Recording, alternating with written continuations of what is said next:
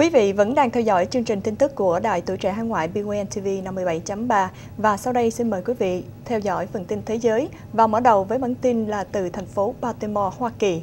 Đảng phái thứ ba ở Hoa Kỳ đưa ra ứng cử viên tổng thống. Đảng xanh của Hoa Kỳ hôm qua đã đưa ra lời thách thức với đảng Cộng Hòa và đảng Dân Chủ khi họ đề cử một thành viên, đồng thời là một nhà hoạt động kỳ cựu là bà Jill Stein ra ứng cử chức danh tổng thống. Tại hội nghị đảng xanh ở thành phố Baltimore, tiểu bang Maryland, các đại biểu đã bỏ phiếu cho các ứng cử viên khác nhau theo những kết quả bầu cử sơ bộ từ đầu năm nay tới nay. Và bà Jill Stein, 62 tuổi, là một bác sĩ của tiểu bang Massachusetts, từng hai lần ứng cử chức danh tổng thống đốc. Trong đó có một lần bà tranh đua với ứng cử viên đảng Cộng Hòa là Mitt Romney. Trước đó, bà Jill Stein không hề có ý định ra tranh cử chức vụ lãnh đạo đất nước, nhưng vì vẫn còn một nhà hoạt động của đảng xanh tại tiểu bang Massachusetts, nên bà rất quan tâm đến cuộc tranh cãi về việc cắt giảm chính sách Medicare, Medicaid và Social Security trong một ngân sách thắt lưng buộc bụng giữa đảng Dân Chủ kiểm soát Tàu Bạch Ốc và đảng Cộng Hòa kiểm soát Quốc hội. Từ đó, bà quyết định trở thành một ứng cử viên của đảng xanh Đảng Cộng Hòa sẽ tổ chức đại hội từ ngày 27 đến ngày 30 tháng 8 tại Vịnh Tampa, tiểu bang Florida. Đảng Dân Chủ sẽ tổ chức đại hội từ ngày 4 đến 6 tháng 11 tại thành phố Charlotte, tiểu bang North Carolina. Ngoại trưởng Hillary Clinton gặp đại diện Thiên Chúa Giáo và phụ nữ Ai Cập tin tự Cairo. Ngoại trưởng Hillary Clinton đã kêu gọi quân đội Ai Cập và từng Tổng thống Mohamed Morsi tôn trọng mong muốn của dân chúng và hứa hẹn Hoa Kỳ sẽ tiếp tục ủng hộ Ai Cập trong công cuộc cải cách dân chủ. Trong các cuộc họp với những nhà lãnh đạo Thiên Chúa Giáo và phụ nữ, Ngoại trưởng Hillary Clinton nhấn mạnh sự ủng hộ của Hoa Kỳ đối với cải cách dân chủ, tôn trọng các quyền của người thiểu số, các quyền của người dân Ai Cập trong đó có phụ nữ, người Hồi giáo và Thiên Chúa Giáo. Ngoại trưởng Clinton đã gặp đại diện các nhóm Thiên Chúa Giáo và phụ nữ sau khi gặp viên tướng lãnh đạo quân đội Ai Cập. Ngoại trưởng Clinton đã gặp thống chế Hussein Tantawi đang lãnh đạo Hội đồng quân lực trong một giờ đồng hồ vào một ngày sau khi gặp từng Tổng thống Mohamed Morsi. Một viên chức Hoa Kỳ cho biết, khi gặp thống chế Tantawi, Ngoại trưởng Clinton cũng nhấn mạnh đến việc tôn trọng các quyền căn bản của người dân Ai Cập. Khai mạc hội nghị thượng đỉnh Nam Phi tin từ Addis Ababa. Qua bài diễn văn khai mạc hội nghị thượng đỉnh lần thứ 19 của Liên Phi, Chủ tịch cao ủy Liên Phi Jinping nói rằng đảo chánh Nam Mali và Guinea-Bissau nhắc nhở cho Liên Phi rằng tình trạng muốn chiếm giữ quyền lực một cách bất hợp hiến vẫn còn là một thực tế ở Phi Châu. Tình trạng ở Mali rõ rệt là sự đe dọa lớn nhất đối với an ninh và ổn định châu lục. Trong cuộc họp của Hội đồng Hòa bình và An ninh trong ngày hôm qua, Tổng thống Alassane Ouattara của Ivory Coast, chủ tòa cuộc họp, đã lên án ý định của các nhóm khủng bố đang hoạt động tại miền Bắc Mali. Hội đồng đã ủng hộ nỗ lực can thiệp của các nước Tây Phi đối với Mali, nhưng không đề cập tới việc can thiệp bằng quân sự. Liên Phi cũng đã hoan hô việc gặp nhau giữa Tổng thống Omar Hassan al-Bashir của Sudan và Tổng thống Salva Kiir của Nam Sudan. Nguyên thủ của hai nước thù nghịch đã cam kết giải quyết tranh chấp bằng các biện pháp hòa bình. Hai nước này bị Liên Phi đe dọa cấm vận nếu tiếp tục gây chiến. Các nhà lãnh đạo Phi Châu cũng dự thảo một bản nghị quyết đối với tỉnh Bắc Kivu của Cộng hòa Dân chủ Congo.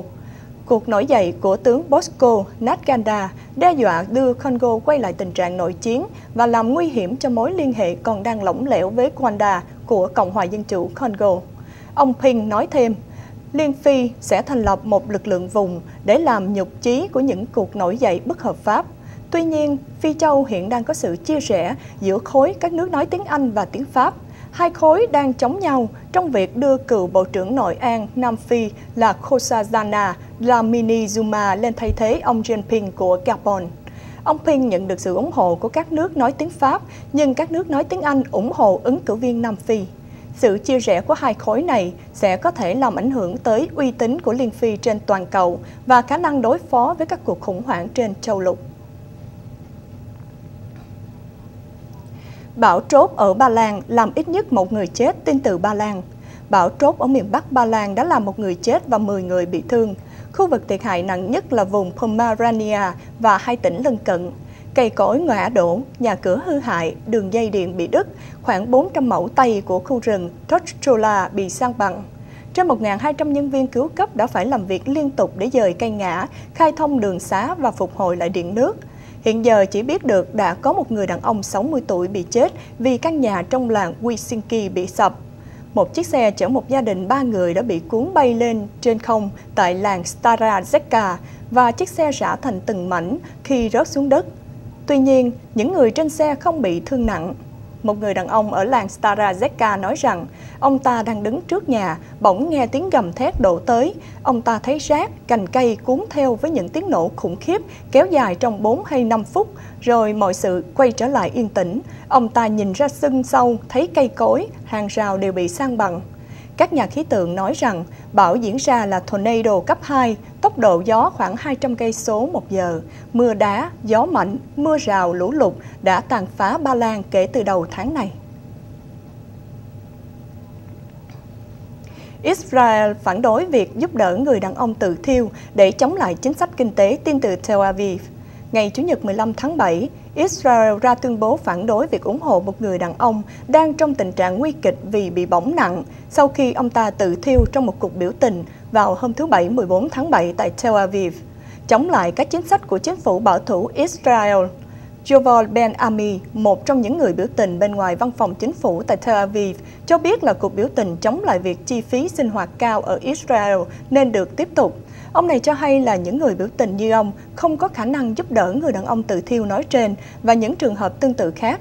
Ông Ben Ami cho rằng hành động của người đàn ông tự thiêu đã báo động về mức độ tham nhũng trong hệ thống chính quyền. Chính quyền đã làm gì cho người dân và người dân phải cần tiền để tiếp tục xuống đường và đấu tranh. Một đoạn video trên trang web Walla của Israel chiếu cảnh người đàn ông chìm trong lửa và những người khác đang ra sức để cứu lấy ông ta. Người phát ngôn của cảnh sát Israel Mickey Rosenfeld nói với Reuters trong một cuộc trò chuyện điện thoại rằng, một cuộc điều tra ban đầu cho thấy là người đàn ông tự thiêu là vì lý do tài chánh. Ông cho biết người đàn ông khoảng 40 tuổi. Cuộc biểu tình ở Tel Aviv đánh dấu kỷ niệm việc những sinh viên dựng liều biểu tình trong trung tâm kinh tế của Israel kéo theo một chuỗi các cuộc biểu tình khác nhằm chống lại chi phí sống quá cao ở Israel. Mặc dù Thủ tướng Benjamin Netanyahu đã đáp lại các cuộc biểu tình với các sáng kiến nhằm làm giảm bớt gánh nặng cho từng lớp trung lưu ở Israel, chẳng hạn như là nhà ở rẻ hơn và trợ cấp giáo dục nhiều hơn, nhưng một số người biểu tình cho rằng đó chỉ là những hứa hẹn mang tính chất hòa hoãn tạm thời. Rò rỉ khí chlorine tại Vũ Hán, tin từ Vũ Hán, các nhân viên cứu hỏa đã phát giác một vụ rò rỉ khí chlorine tại một công ty ở thành phố Vũ Hán, miền Trung Hoa Lục vào sáng ngày hôm qua, nhưng may mắn không ai bị thương tích gì.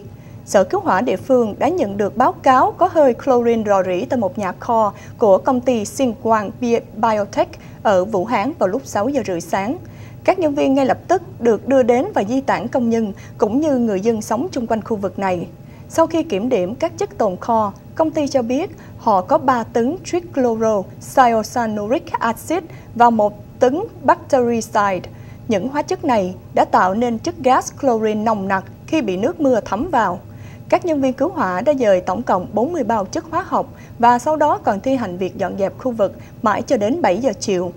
Những người dân sau đó được phép trở lại nhà và cuộc thử nghiệm không khí trong vùng được tiến hành trong khu vực 150 thước từ nơi xảy ra tai nạn.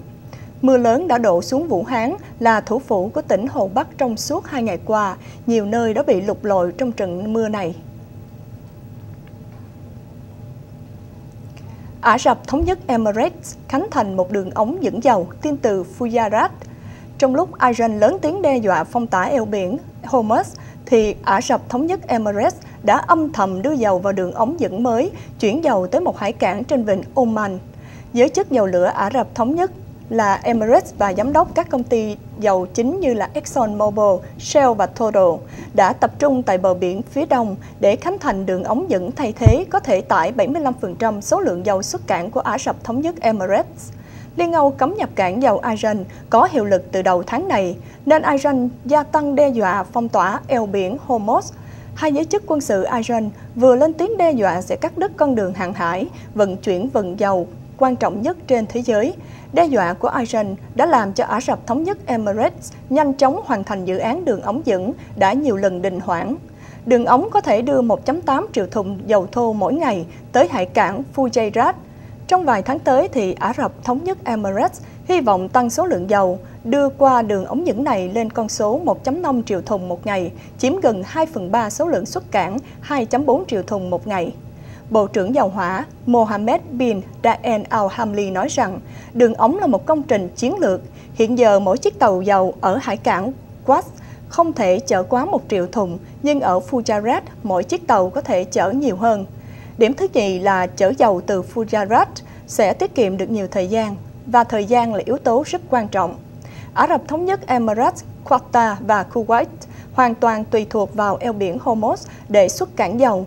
Con đường chở dầu huyết mạch này đang bị Iran đe dọa phong tỏa nếu Hoa Kỳ và Liên Âu tiếp tục cấm vận dầu lửa nước này.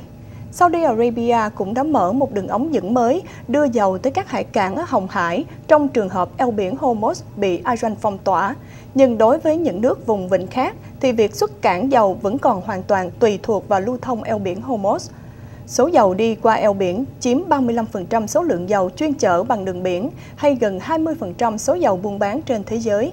Theo cơ quan quản trị tin tức năng lượng Hoa Kỳ, mỗi ngày có khoảng 17 triệu thùng dầu đi qua eo biển Hormuz. Và kính thưa quý vị, vừa rồi là phần tin thế giới của BON TV 57.3. Thanh Thanh xin kính chào tạm biệt quý vị và hẹn gặp lại quý vị trong những bản tin lần sau. Kính chúc quý vị một buổi tối an vui.